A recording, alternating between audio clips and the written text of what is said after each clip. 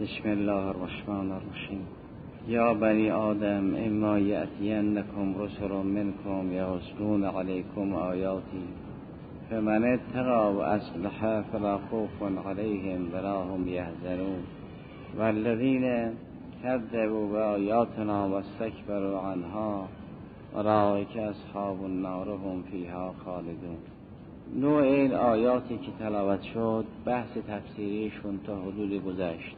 عمده اون بحث ملفق از آیات و روایات بود که سیدن استاد رضوان علیه مطرح کردن. در اونجا روایات فراوانی که درباره تینت انسان سخن می‌گوید. به این روایات چند طایفه بود. بعضی از اینها دلالت داشت به اینکه در هنگام آفرینش انسان خاکهای گوناگونی به کار رفت. تین و ترابهای طیب و خبیس به کار رفت اونها که در آفرینش اونها از خاکهای پاک و از خاکهایی که مربوط به هوای ملایم است سرزمین ملایم است حاصل خیز است.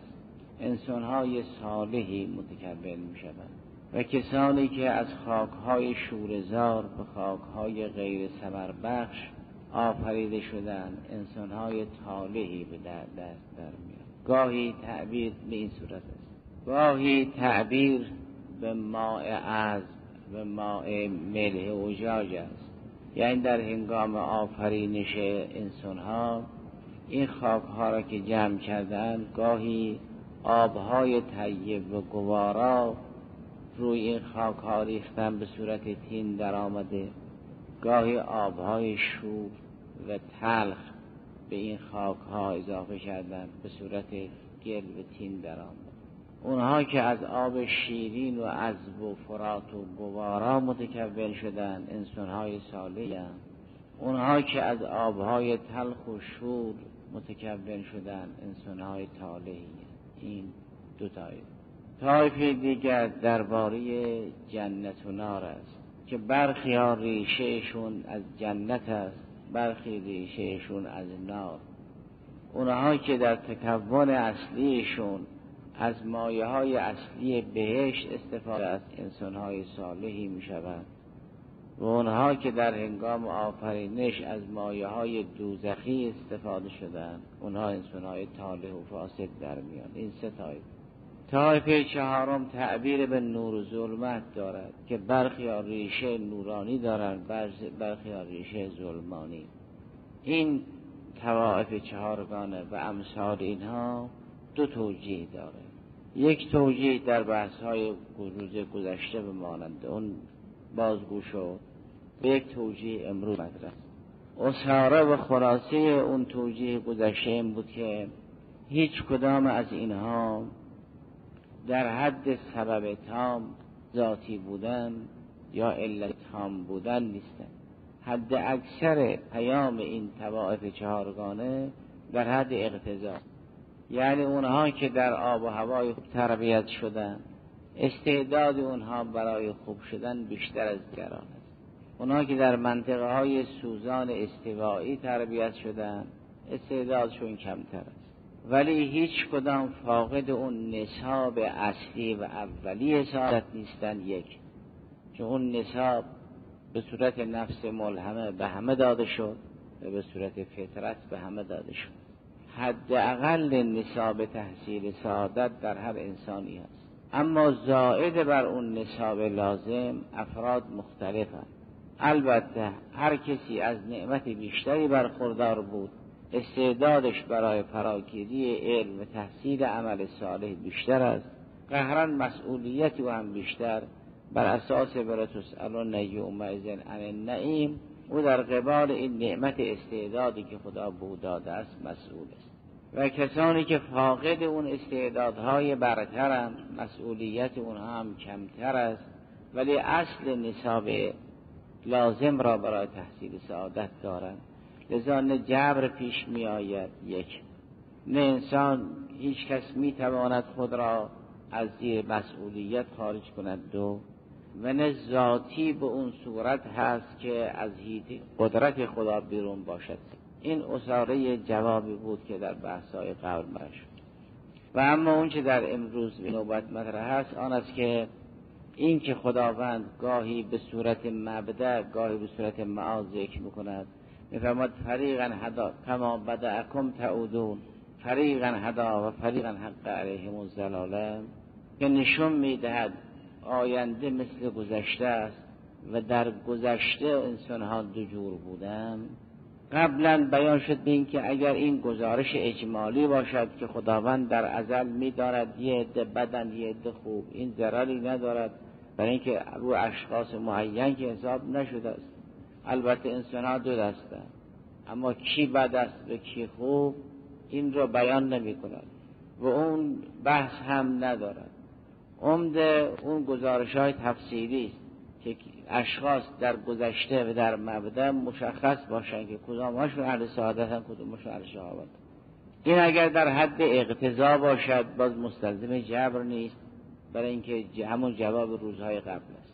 و اما اگر نه به صورت نتیجه نهایی باشد این یک جواب دیگری میطلبد که اون امروز بیان می‌شد و این است که اگر چنون که ما روح را یه امر مجردی می‌دانیم کما هو الحق این موجود مجرد گرچه در نشعی که با طبیعت ارتباط دارد کارهای طبیعی انجام می‌دهد. و کارهای طبیعی او زماندار است مکاندار است خصوصیت های مادی میپذیرد. اما اصل اون عمل منزه از زمان و مکان است. اگر ثابت شد روح یه موجودی است مجرد. و اگر ثابت شد کارهایی که مربوط به روح است از ثبات و تجرد برخوردار است. و اگر ثابت شد که کارهای پایه‌ای و مقدماتی و گرچه مادی است ولی این مستلزم آن نیست که متن روح مادی باشد یا کارهای روح مادی باشد. قهرا روح انسانی از تجرد برخوردار است و هر موجود مجردی ثابت است. وقتی ثابت شد از گذر زمان و مکان منزه است.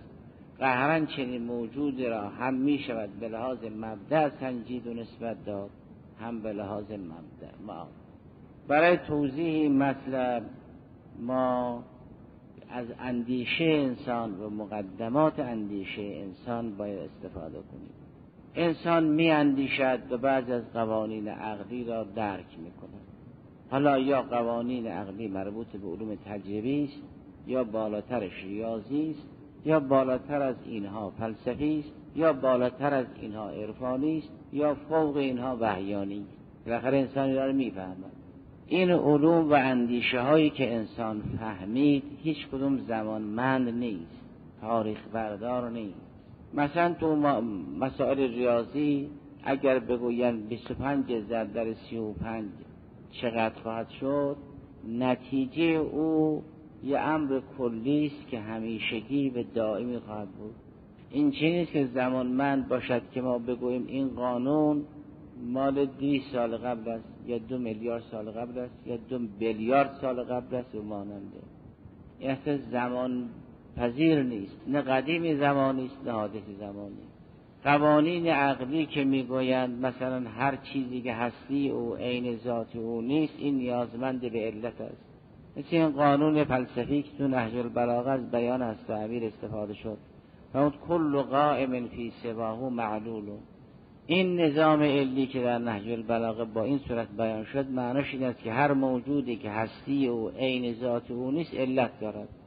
یه وقت است موجود مثل خداست که هستی و عین ذات او و عین هستی است او دیگه سبب ندارد. یه وقت است نه یه موجودی است که هستی او عین ذات او نیست. وقتی هستی او عین ذات او نبود حتما سبب دارد.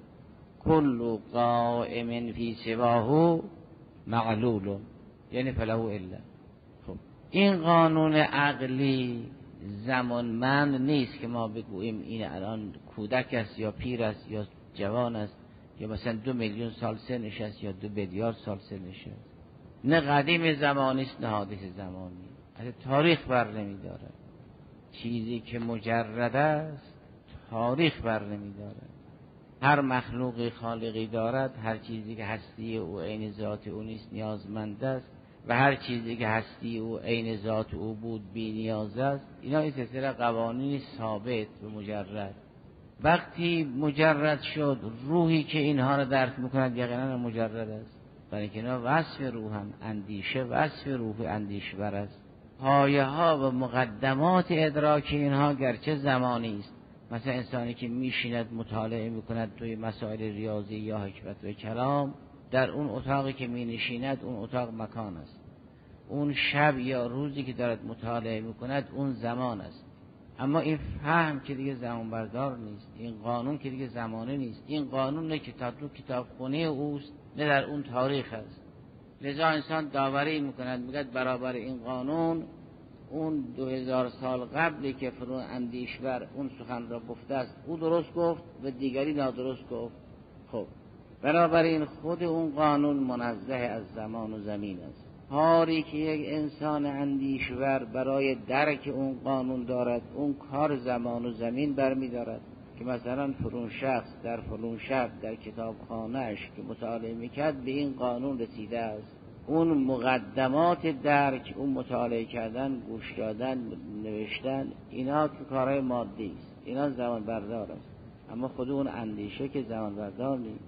کاری هم که انسان در باره ملکات نفسانی می‌کند اینطور است. کارهایی که انجام می‌دهد برای اینکه به ملکه عدالت برسد اون کارها زمانی است زمینی است. در فلون زمان فلون کار خیر انجام داده در فلون مکان این کار خیر انجام داده. رو تکرار و تمرین به ملکه شامخه عدالت رسیده است. این عدالت که دیگه زمانی نیست. این عدالت یه وصف ثابت است برای جان او. به سعادت رسیده است به ایمان رسیده است. اینا هیچ حکم از احکام موجود ماده رو ندارن. نه قابل تقسیم به نصف و سلسن نه قابل تقسیم به ماضی و مزاره هیچ کدام از این کمیت های متصل و منفصل قار و غیر قار در اونها نیست. گرچه اون پایه ها و مقدماتشون مادی است. خب وقتی این امور ثابت شد می شود هم اینا نسبت به گذشته اسناد داد هم نسبت به آینده. هم در گذشته بودن هم در آینده بودن. لذا اونهایی که قائلن به اینکه روح جسمانت و دوست و روحانیت البقاست اونها همین احادیث نورانیه خلق الله الارواح قبل الاجساد رو قبول دارن. میگن روح قبل از بدن هست. منتهای قبلیتش قبلیت زمانی نیست.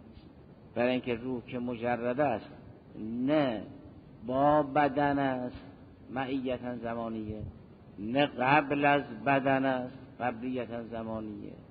نه بعد از بدن است بعدیتا زمانیه. مثل همون قانون عقلی. این قانون عقلی که میفرماید کل قائم فی سباه و معلولون. یعنی هر چیزی که قائم به ذات نیست قائم به غیر است معلول است. این چند سال قبل از زمینه؟ با زمین هست؟ نه. چند سال بعد از زمین میمونه؟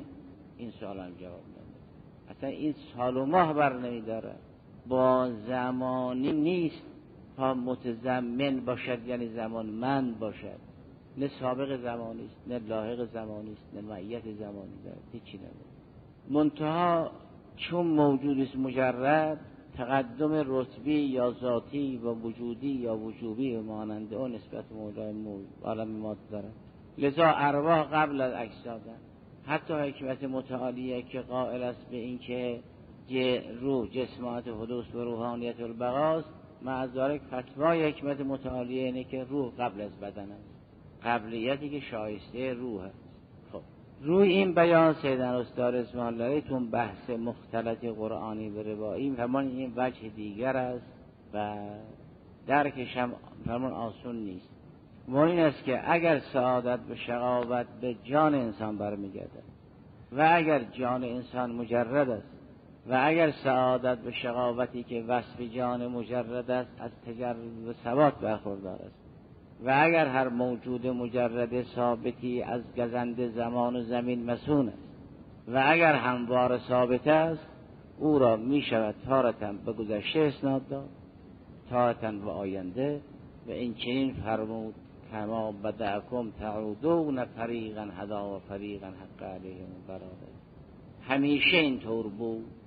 یعنی حالا که این انسان از نبش زمان میاد بالا صادق است که بگوید قبلا هم همینطور بود. الان هم همینطور است بعدا هم همینطور است. منتها نه قبلیتش زمانی است نه معیتش زمانی نه بعدیتش زمانی. این هم یکی از مطالبی که مربوط به توجیه این احادیث تینت است. آخر خون زمان مخلوق خداست. البته در اون معنایی که تقدم ذاتی باشد در بحث تقدم ذاتی همیشه همینطور است. ذات اقدس الهی دارای تقدم ذاتی است و احدی هم با او نیست. نه ارواح ما نه اشیاء دیگر هیچ کدوم. اما نمی شود گفت که در یه تاریخی در یه زمانی خداوند بود و هیچی نبود. خب برای خود اون تا زمان فیض خداست دیگه مخلوق خداست دیگه. این چه نیست که زمان موجود به ذات باشد. که زمان را خدا آفرید. خب.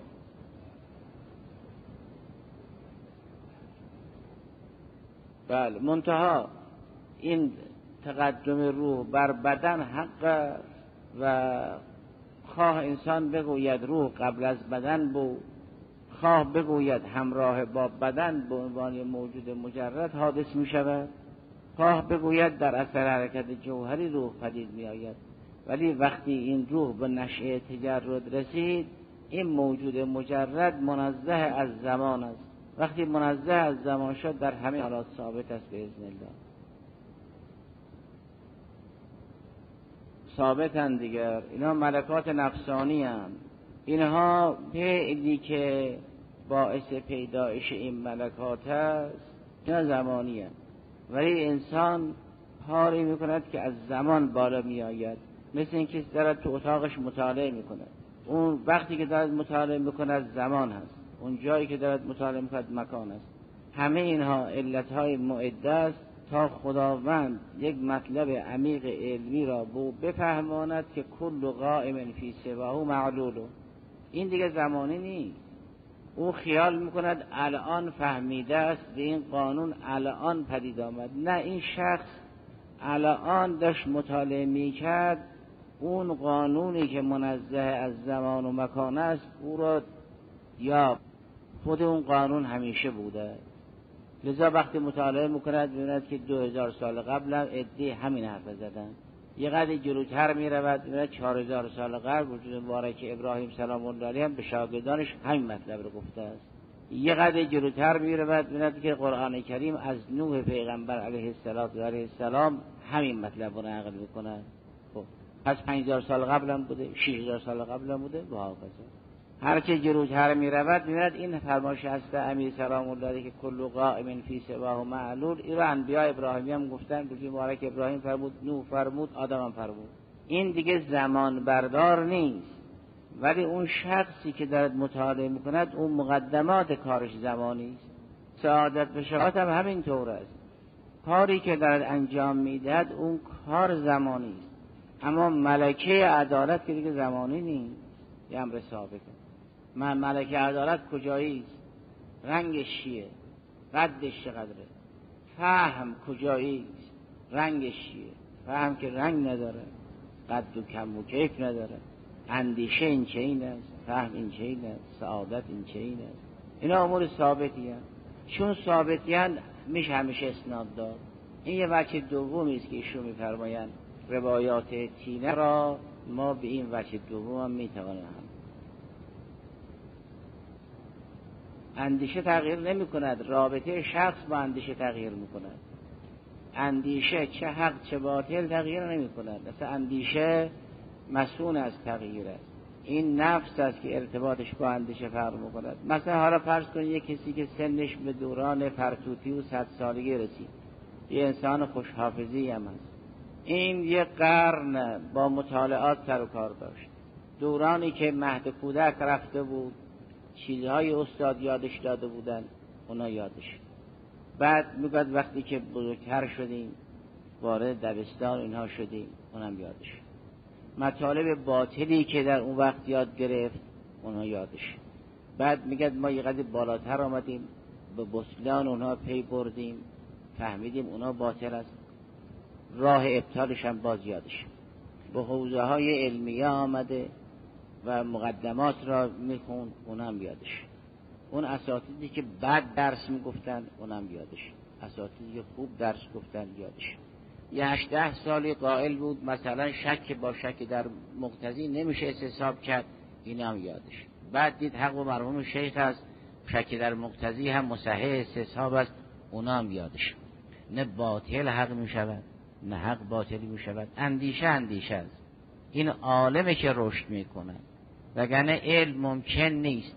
چه علم کودکی چه علم پیری. دانش از اون جهت که دانش است تکون نمی‌خوره. به دلیل که این شخص همکنون یادشه که صد سال قبل فلو مطلب باطل را به او گفتن او الان یادش است که او رو گفتن و الان می‌دوند او باطل است. نه تنها الان می‌دوند باطل است همین که به حوزه های علمی آمد فهمید اون داستان مثلا داستانی وجود اسرائیلیات که معلم در مکتب خانه به گفت. هشتاد سال است که بر خلاف اون اسرائیلی نظر دارد و او رو ابطال کرده است. اما اندیشه به اندیشه دیگه تبدیل نشد. یه وقت از آب دماش کم میشه. آب میجوشه. دمای آب واقعا عوض شد. یا افسرده میشه سرد میشه زیر صفر میره. این دمای او عوض میشه. اینو میگن حرکت. این یا تناقص است یا تزاید است یا تکامل است. او ماشیت فسمه. خود آب حرکت می‌کنه. هوا هم به شرح گاهی سرد میشه گاهی گرم میشه. اما علم به معنه علم محال تکون بخوره. چون مجرد است. هرگز اندیشه باطل حق نمیشه. اندیشه به اندیشه تبدیل. تبدیل نمیشه. این اندیشور است این اندیشمند است که چون نفس است به جسمانت روح دوست است به روحانیت البقاست به در مسیر حرکت به تحول به تبدل است. این روابطش با علوم و افکار عوض میشه. گاهی با این معتقد است. چند سال رابطش به هم می‌خوره با به علم دیگری معتقد میشه. نه اینکه علم علم دیگر میشه علم کامل میشه. این نفس است که کامل میشه. این عالم است که کامل میشه.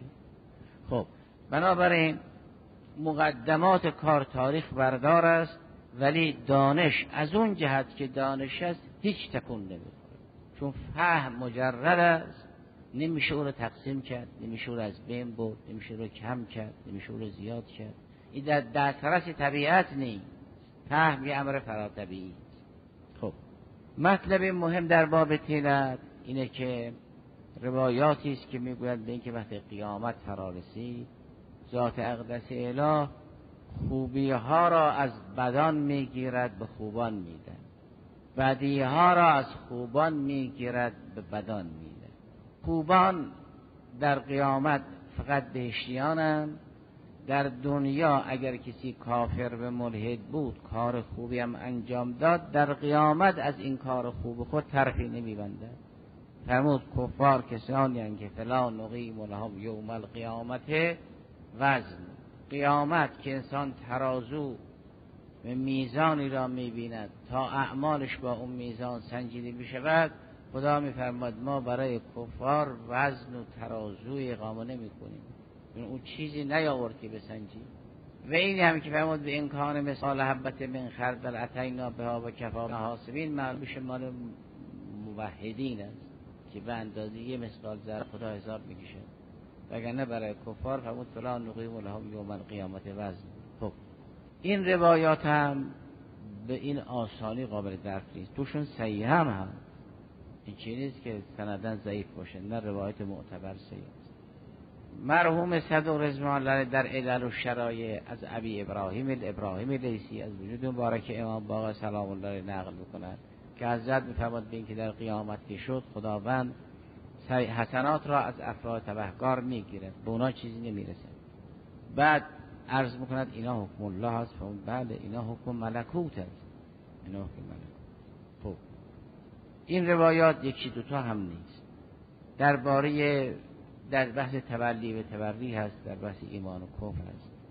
سیدن رستار رزوان الله توجیه که دارن این است که میفرمان به این که حسنات و سیعات یه امر اعتباری و قراردادی نیست. نظیر اخلاق و سنن عادی مردمی که چی چیز خوب است چی چیز بد است بدون که ریشه در تکوین داشته باشه اگر چون چه آداب و سنن الهی ریشه در تکوین دارد و اگر چنون چه چیزی معصیت بود واقعا سمه است و اگر چیزی طاعت بود واقعا شهده است. حقیقتی پشت پرده این احکام اعتباری منتها به زبان امر و نهی بیان شده وگرنه در حقیقت یک حبی به این صورت بیان شده. پس یه سنخیتی لازم است. وقتی سنخیت لازم بود چون اینا که اعتبار نیست به قرارداد وابسته باشد که.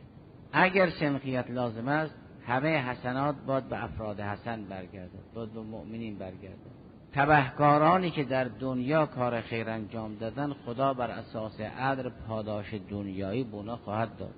اون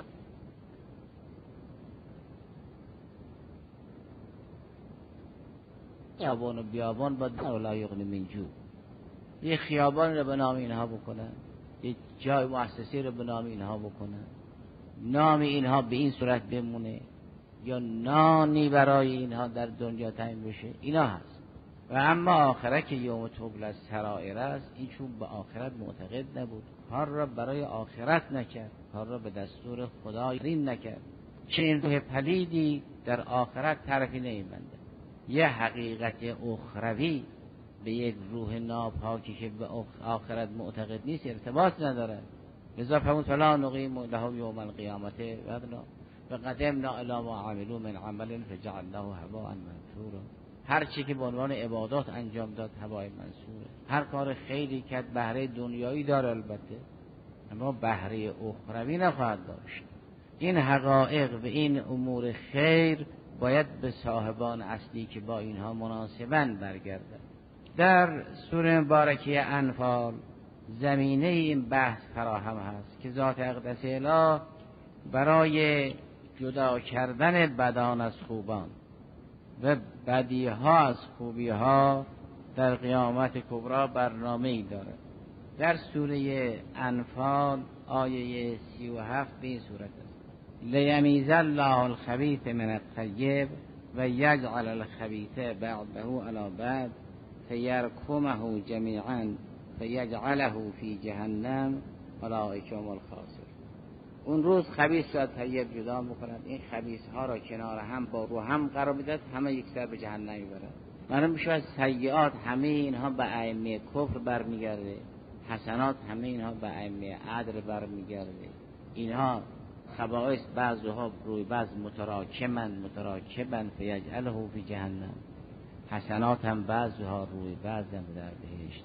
لیمیز الله الخبیث من الطیب و یجعل الخبیث بعضه علی بعض فیرکمه جمیعا فیجعله فی جهنم. این یکی. در سوره مبارکه اعراف فرمود این که ما گفتیم طیب در قبال خبیث و گفتیم خبیث در مقابل طیب. این چه که خبس خبیث به تیب طیب ذاتی باشد. و از قلمرو قدرت خدا بیرون باشد این چنین نیست. طیب داریم به اذن خدا. کار می‌کنن. خبیث در عالم هست به اذن خدا. اون هم کار تلخ دارد. این چی نیست که اینها ظاهر بر الله باشد معاذ الله آیه 58 سوره اعراف این است. ول بلد و طیب که این یک تمثیلی است از معقول به محسوس. ول بلد و طیب یخرج نباته اما به ابن ربه. والذی خبسه لا یخرج اون نبات الا نکدا ناقص.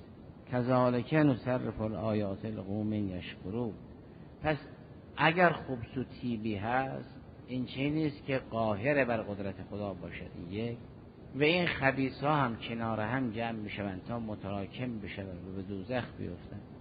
و طیب ها کنار هم جمع می‌شوند تا متراکم بشوند و بهشت راه پیدا کنند بنابراین چون یه امر حقیقی است نه قراردادی خوبی اگر در عالم پیدا شد به برکت خوبان عالم است. به اونها برمیگردن اگر انبیا و اولیا نبودن هیچ کسی پرچمدار عدل و قسط نمیدی اگر تو عالم چهار نفر دایی اصلاح طلبی دارن این در کنار سفره انبیا علیه السلام نشستن منتها اون جنبه الهی دعوت را رها کردن به جنبه مردمی گرفتن. مردم یعنی به اصطلاح رهبران مسلح اینا وقتی چشم به جهان گشودن که سفره عدل انبیا پن بود. اینا آمدن اون توحید و معاد رو نگرفتن وحی و نبوت نگرفتن اون جنبه مردمی رو گرفتن. استقلال رو گرفتن آزادی رو گرفتن امنیت رو گرفتن. انبیا اینها را در کنار توحید و عقاید و اخلاق و حقوق آوردن. این چه که مارکس به انگلس این حرفا را از خود در آورده باشن که. خب شما ببینید هزار سال قبل از اینها هزار دویست سال قبل از اینها کسانی بودن که می‌گفتن که ما حالا سر گرسنه با شکم سیر بخوابیم در اقصا نقاط کشورمون یه گرسنه ای باشد. من اینجور نیست خب این رو خاندان اهل بیت علیه السلام گفتن. این حرف ها وقتی بود که ایران و روم رو اینا فتح کرده بودن. مگر اون روز بیش از دو تا ابرقدرت روی زمین کسی دیگه بود؟ به قدر این دو ابرقدرت معروف تاریخ بودن که اگر می‌گفتن به اینکه روم شکست خورد معلوم شد کسی ایران برد. لازم نبود بگن ایران فاتح شد که. اضافه بود قول دیگه لازم نیست بگن که ایران غالب شد دیگه که اون روز در اون سرزمین غیر از ایران کسی نبود که روم را شکست بده. معلوم مثل دو قدرتی که تا یک دهه قبل بود.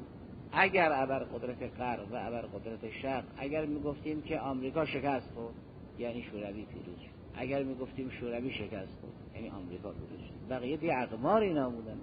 به قدر این دو ابرقدرت زبون زد تاریخ بودن که دیگه نیازی به ذکر فاعل نبود. غلبت روم یعنی ایرانی ها پیروز و هم بعد غلبه هم سیغلبون خب یعنی سیغلبون بر ایران. خب این دو امپراتوری حرفای از امیر رو گوش می‌دادن دیگه چون همه اینا زیر حکومت او بود در اون پنج سال.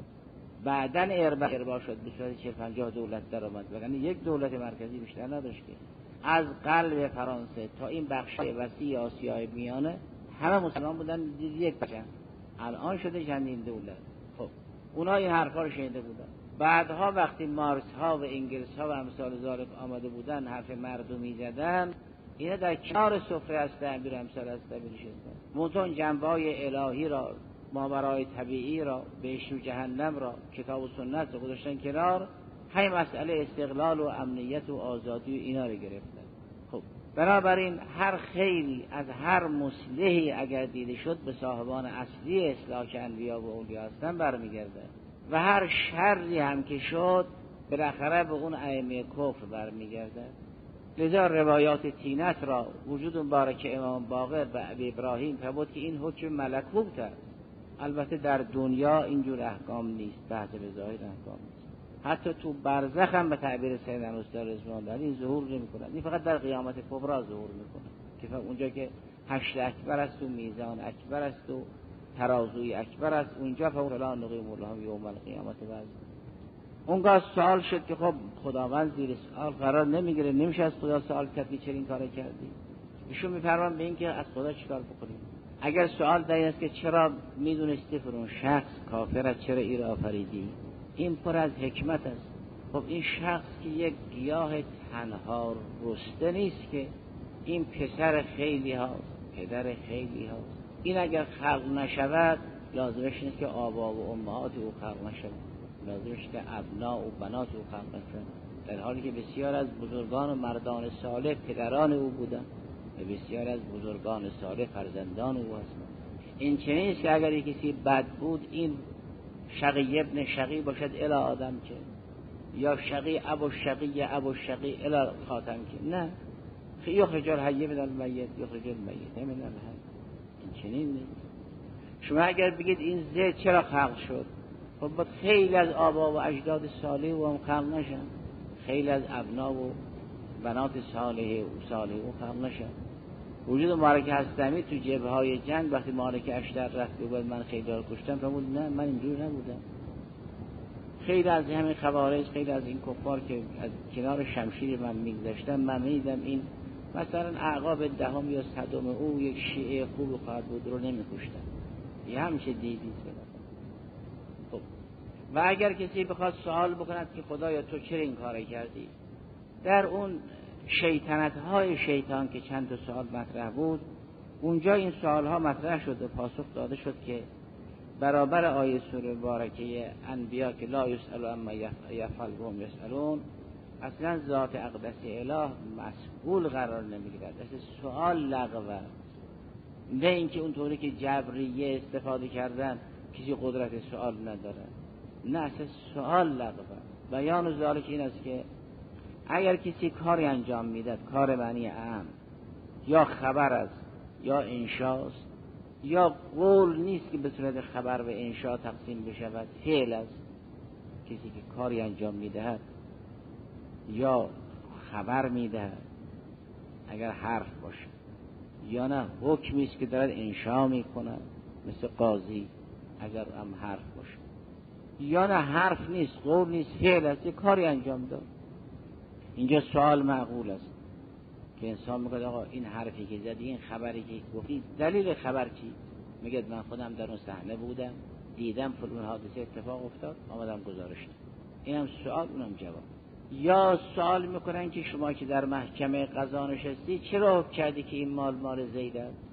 میگه برای من ثابت شد که این زید وارث اون مورث است. اونم پدر این بود به مرد مال به او ارث می‌رسید. من حکم تو به نازل مال لزید این قول انشای او زیر سوال رفت اونم پاسخش. اینجا سوال معقول اون جواب. یه وقتی کاری کرده حرف نزده که به صورت خبر باشد یا این یه کاری کرده. چرا این کاری کردی؟ میگه من اون کار چیزی لازم داشتم. رفتم به دنبال فرون کار تا مشکلم حل بشه. اینم سوال من جواب. اما درباره ذات اقدس اله که عالم را آفرید که فرمود که در قرآن چی آمده ما هم عرض بکنیم ربنا ما خلقت هذا باطلا. این مجموعه نظام سماوات و ارض این نظام کیهانی رو آفرید. ما سوال بکنیم خدای چرا این کار کردی این یعنی چی؟ این سوال از چرا؟ که چون پاسخ این چرا باشد؟ یا سوال از مبدع فاعلی است؟ یا سوال از مبدع است یا سوال از مبدع مادی به سوری مثلا شما این سرامیکی که می‌بینید چهار تا سوال می‌کنید. از چی درست شده؟ چی جور درست شده؟ چی درست کرده؟ برای چی درست کرده؟ همه سوالات شما تو این سرامیک یا تو این فرش تو این چهار تا سوال دیگه. از چیز درست شده؟ یعنی ماده اولی یه سوالی جوابی؟ چیجور با چه الگویی شما این نقشه رو درست کرده؟ این سوالاتی جواب مساعدی هم میدن. کی رو درست کرده پاسخش اینه که فرون استاد. چرا درست کردی؟ حالا پاسخش اینه که انگیزنش یا برای خودشه یا برای فروش. اونم فاعل اونم قایه اونم مایده اونم صورت بالاخره هر سوالی که باشه به اینا برمیگرده. اونم که ماده و صورت رو این کار, این کار می‌کنن تو فضای ماده و صورت دارن زندگی می‌کنن بالاخره. خب درباره ذات اقدس اله ما این عالم چی رو سوال بکنیم؟ بگیم عالم رو از چی خلق کردی؟ اون ماده که فعل چیزی در کار نبود که خدا از چه از چه ماده بسازه بگیم رو کدوم الگو کدوم نقشه؟ خب نقشه و الگو هم که فعل قبلا یه نقشه نبود که خدا روی اون نقشه بر اون صورت خلق اگر سوال بکنیم که کی این کار کردی خودش فاعل به ذات این کاره.